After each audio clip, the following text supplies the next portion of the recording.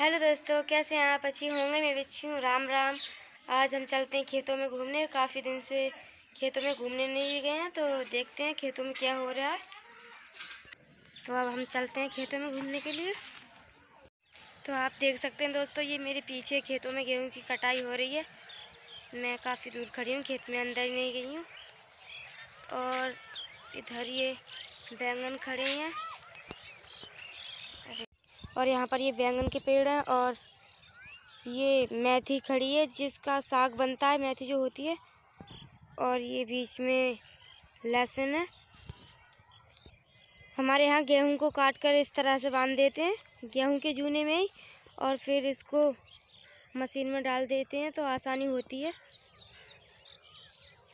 अभी यहाँ पर ये खाना खाने के लिए गए हैं, दोपहर हो गई है। और ये गेहूँ पूरी तरह से पक चुके हैं, अब हरे नहीं है बिल्कुल भी।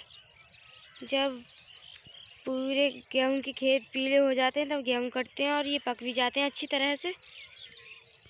ये मेरे आगे आगे गाय चल रही है तो मैं इन्हें आगे आगे ले जा रही हूँ। और ये रास्ता पे किसी ने डंडा लगा दिया है, मेरी चुन्नी भी फंस गई इसी में। तो गाय काफ़ी आगे पहुँच चुकी है तो अब मैं जल्दी जल्दी चल और इस बीन में पानी भी लग चुका है। तो बीन्स काफ़ी ज़्यादा टूट रही हैं, लेकिन इस खेत की टूट चुकी है। दोपहर से ही टूट गई है और इतनी इतनी बड़ी हो गई और उधर को बैंगन है। हमारे यहाँ हर खेत में बैंगन हो इस खेत में ज़्यादा नमी होने के वजह से इस खेत के गेहूँ में काफ़ी ज़्यादा घास उगाई है, जो गेहूँ से ही ऊपर चल रही है। तो इस तरह की घास पूरे खेत में है। और ये गेहूँ ठीक से पक भी नहीं पाए हैं इस घास की वजह से। ठीक से दिख रहे होंगे ये। यहाँ पर हवा की वजह से इस खेत के सारे गेहूँ नीचे गिर गए हैं और उधर से कटने शुरू हुए हैं गेहूँ। इतनी ज़्यादा हवा चलती है यहाँ पर रात को कि सारे गेहूँ गिर गए और इस खेत के तो घास की वजह से और कुछ हवा की वजह से भी गिरे हुए हैं।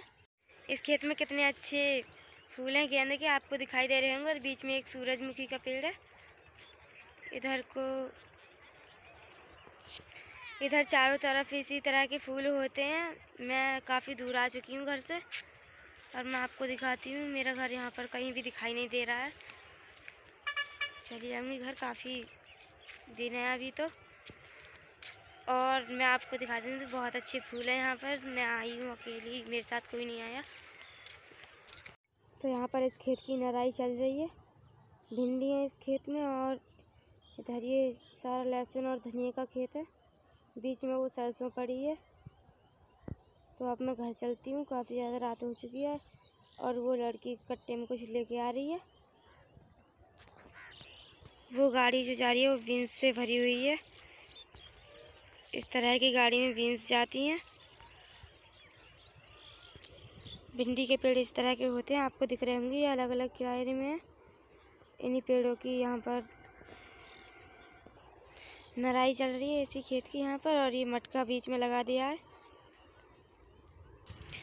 तो मैं आपको वो फूल थोड़े पास से दिखाती हूँ, काफ़ी सुंदर हैं। कितने सुंदर दिख रहे हैं ये फूल, ये बीन्स के चारों ओर होते हैं और ये बिक भी जाते हैं मेले में या बाज़ार में कहीं भी। गंगा के किनारे भी बिक जाते हैं, जहाँ लोग पूजा पूजा करते हैं वहाँ पर।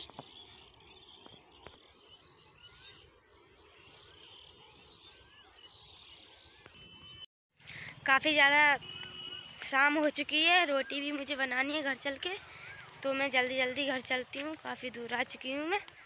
कहीं पर यहाँ से मेरा घर दिखाई नहीं दे रहा तो अब मैं जल्दी जल्दी चलती हूँ। ये सरसों काट के डाल दिए, सरसों को बीन्स के आगे कर देते हैं। तो मैं आपको इसमें जो दाने में तेल निकलता है वो दिखाती हूँ। ये सरसों पक चुकी है। इस तरह के दाने निकलते हैं, सारे गिर गए हाथ से। आपको और तोड़ के दिखाती हूँ।